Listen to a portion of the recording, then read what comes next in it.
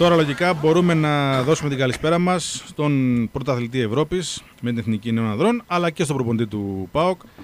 Κύριε Παθαδόρο, καλό μεσημέρι από Θεσσαλονίκη. Καλό μεσημέρι. Καλησπέρα σας. Είστε καλά; Δόξα τω Θεώ, όλα καλά. Κοιμηθήκατε; Ορίστε. Κοιμηθήκατε, λέω; Όχι. Όχι. Καθόλου, Λογικό, ε. Λογικό. Τον πάγκο λίγο καμιά φορά κοιμόμαστε. Συμβαίνουν αυτά.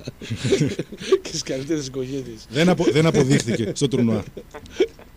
δεν αποδείχθηκε. Πραγματικά συγχαρητήρια όχι μόνο για, τη φετινή, για την χθεσινή βραδιά, όχι μόνο για τη φετινή πορεία, για όλα αυτά που έχετε πετύχει στις εθνικές ομάδες. Είναι διαχρονική επιτυχία, υπάρχει συνέχεια.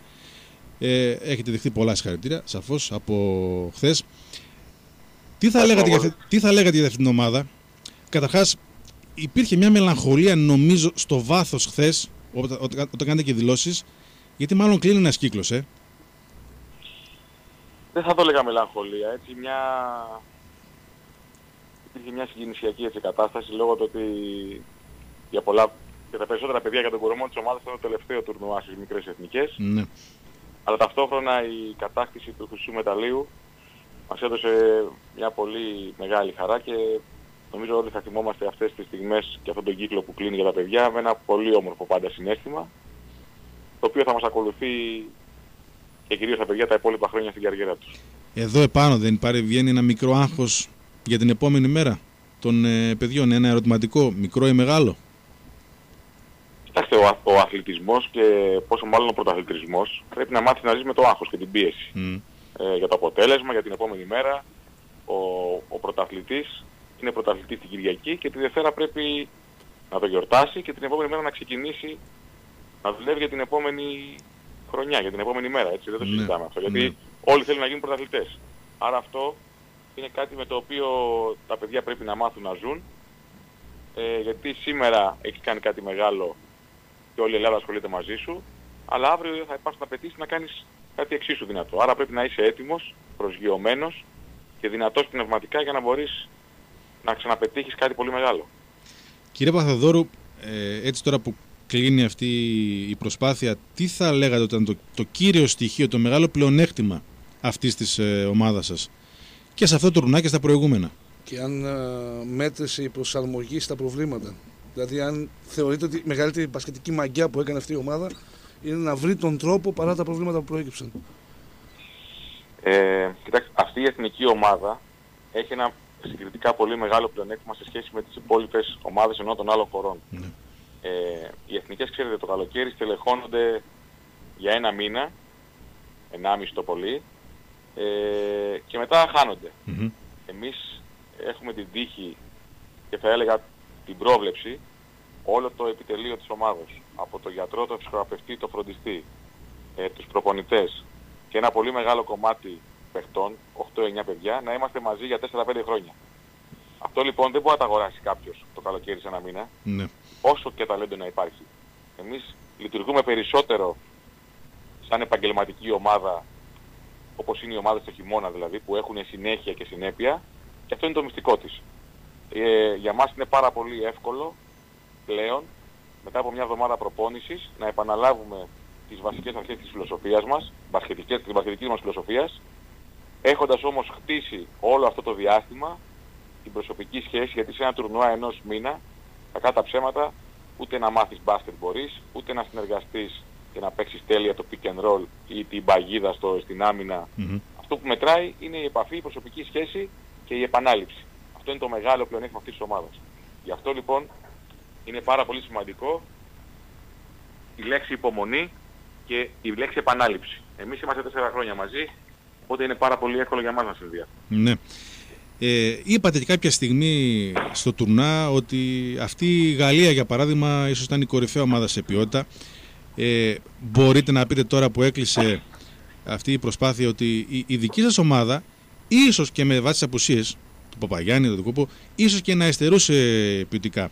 Αν το πείτε φυσικά, πάνω να πει ότι η δουλειά, η δική σας παρέμβαση ήταν πολύ μεγαλύτερη για να φτάσουμε στην πρωτιά.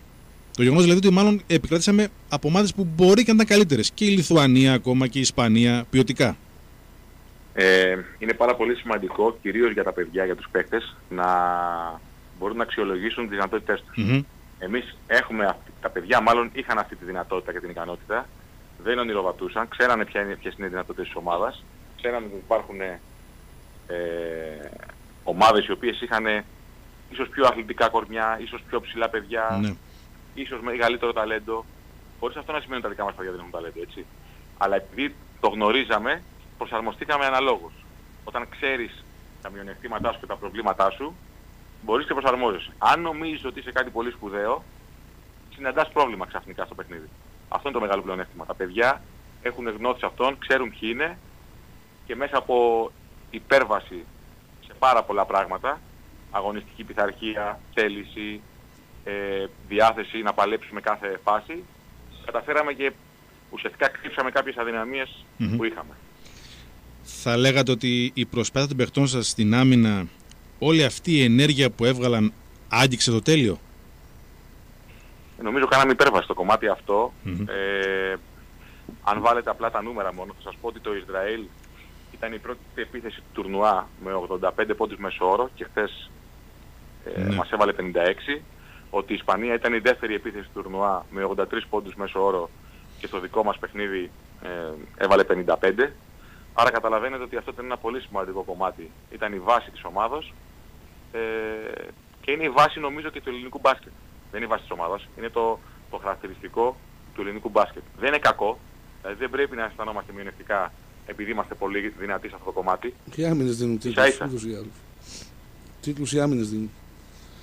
Έτσι ακριβώς. Θα λέγατε ότι αυτή είναι και η, η, μπατς- η μπασκετική σφραγίδα του προπονητή Παπαθεοδόρου. Εκεί στηρίζεται η φιλοσοφία του για να πάμε και στην ε, ομάδα, στο σύλλογο σιγά σιγά. Κοιτάξτε, η φιλοσοφία ενός προπονητή πρέπει να στηριχτεί κατά την άποψή μου με βάση το τι, το τι υλικό έχει στα χέρια του, το τι υλικό διαχειρίζεται.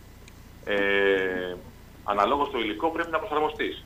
Τώρα αν εγώ σαν προπονητής έχω μια φιλοσοφία ότι θέλω να τρέξω και θέλω να βάλω 100 πόντους, αλλά το υλικό αυτό δεν μπορεί να το υποστηρίξει, όσο και να προσπαθήσω δεν θα τα καταφέρω. Άρα λοιπόν πρέπει να προσαρμοστείς τις απαιτήσεις των παιχτών και εκείνοι φυσικά να προσπαθήσουν να έρθουν στα δικά σου θέλω. Είναι μια ενδιάμεση κατάσταση ε, δεν χρειάζεται, κυρίως εσείς οι δημοσιογράφοι, να κολλάτε ταμπέλες, αυτός είναι αμυντικογενής, αυτός είναι επιθετικογενής. Μμμ. Σίγουρα κάθε προπονητής έχει μια φιλοσοφία, αλλά η άποψή μου ότι πρέπει να πλησιάζει στα χαρακτηριστικά των παιχτών του η κάθε φιλοσοφία. Ναι όμως, για παράδειγμα τώρα εδώ στον ε, ΠΑΟΚ, ε, την ομάδα, ε, για την δημιουργία της επόμενης ομάδας έχετε κι εσείς πολύ σημαντικό λόγο. Προφανώς, έτσι δεν είναι. Δηλαδή τώρα χτίζεται μια ομάδα. Έχει μια βάση, οκ, κάποια συμβόλαια κτλ. Αλλά με βάση και αυτό που θέλει να παίξει ο ΠΑΟΚ γίνονται κάποιες επιλογές. Θα γίνουν κάποιες επιλογές. Συμφωνώ απόλυτα. Ε, εννοείται αυτό το πράγμα. Εμείς έχουμε κάποιο σκεπτικό σε συνεργασία με τη διοίκηση στο τι μπάσκετ θέλουμε να παίξουμε και τι θέλουμε να, να εκπροσωπήσουμε σαν ΠΑΟ, πώς μπορούμε να, να κάνουμε κάποια πράγματα και με βάση αυτό το σκεπτικό προχωράμε και στην ε, στελέχωση της ομάδας. Ε, θα δούμε δηλαδή, ο στόχος είναι να δούμε μια τέτοια ομάδα που θα βγάζει τόσο μεγάλη ενέργεια στο παιχνίδι, που θα παίζει τέτοια άμυνα, που θα τρέχει τόσο πολύ. Ε, Είναι ο βασικός Ναι. στόχος. Είναι, βασ, είναι βασικός στόχος, το είχαμε πει και στη Ναι. συνέντευξη που είχαμε κάνει την πρώτη, ότι θέλουμε παιδιά τα οποία θα έχουν πρώτα απ' όλα κίνητρο μεγάλο για διάκριση. Όταν έχεις κίνητρο, παίζεις πάνω στο όριό σου. Εμείς θέλουμε να- να φτάσουμε το όριό μας και να το ξεπεράσουμε. Ε, να βρω πως παιδιά με κίνητρο και με ενέργεια και με διάθεση, να παίξουμε σε ένα όσο πιο δυνατόν υψηλό ρυθμό και από εκεί και πέρα ε, λόγω και των δυνατοτήτων που, έχουμε, που μπορούμε να έχουμε σαν ομάδα, θα επιλέξουμε και ένα στυλ παιχνιδιού που θα μας αντιπροσωπεύει. Με τον ΠΑΟΚ ξεκινάτε να ασχολείστε πιο εντατικά από σήμερα, ε, δεν σταματάτε καθόλου για να ξεκουραστείτε. Ποιο είναι το πρόγραμμά σας; Μια και βλέπουμε και τον κύριο Ζωνατζίδη να είναι και κοντά σας και στο τουρνουά. Ε, κοιτάξτε, η επαφή υπάρχει ούτως ή άλλως με τους ανθρώπους. Το καλό για μένα είναι ότι ο ΠΑΟΚ είναι μια πολύ καλά οργανωμένη ομάδα στο κομμάτι της τελέχωσης των ανθρώπων που βρίσκονται κοντά στην ομάδα και αποφασίζουν και βοηθούν στη τελέχωση, που αυτό είναι πάρα πολύ σημαντικό. Ε, το πρόγραμμα από εδώ και πέρα ε, έχει αποκλειστικά τον ΠΑΟΚ. Δετάρτη θα ανέβω στη Θεσσαλονίκη, να έχουμε κάποιες συναντήσεις και να προχωρήσουμε κάποια θέματα που θέλουμε, να βάλουμε ε, κάποιες προτεραιότητες που πρέπει να τρέξουμε και θα υπάρχει και μια εβδομάδα που θα κάνουμε και διακοπές. Η εικόνα του Κόνιαρη στο τουρνουά αναβάθμισε καθόλου στο μυαλό σας το ρόλο του στον ΠΑΟΚ; Ή υπήρχε εξ αρχής η εικόνα του τι θα κάνει ο συγκεκριμένος αθλητής; Όχι, είσαι, είναι πολύ καλή αυτή η ερώτηση. Ο Αντώνης ε, νομίζω ξεπέρασε τον εαυτό του σε αυτό το τουρνουά.